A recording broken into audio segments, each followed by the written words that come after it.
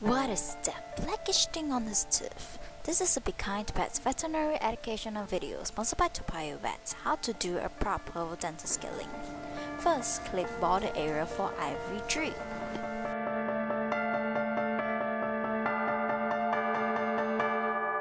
Okay, giving an IV catheter.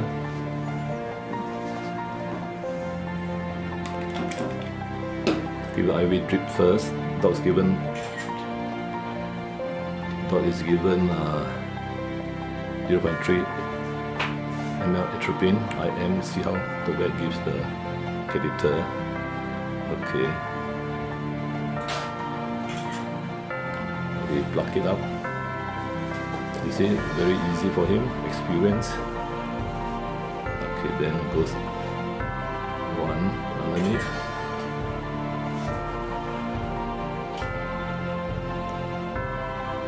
This one has got the wings. This catheter is, is actually better than the other one because it's three-way.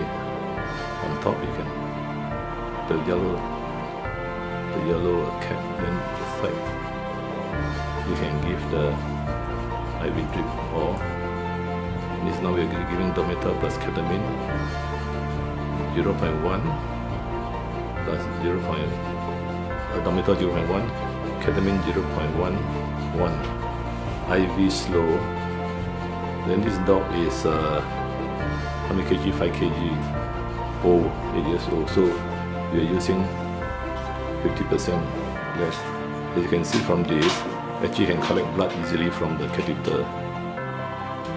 It's a chihuahua and uh, come in for dental scaling. Don't go outside. Don't. Put the plaster in.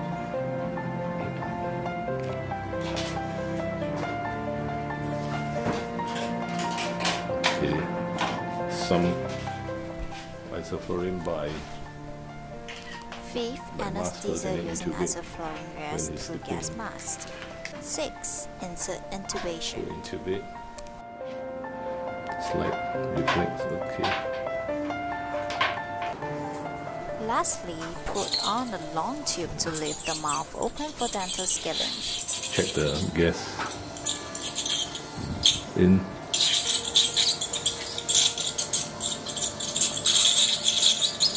They just eat, the dog just eat. Hmm? Okay, come. Finishing soon, right? Hmm. Okay, disconnect already can up. In conclusion, there will always be a standard procedure when a surgery is involved. Age and the health being of your pet is the determinant factor of the risk involved. Usually, the vet surgeons will adjust the anesthetic dosage accordingly to lower the anesthetic risk.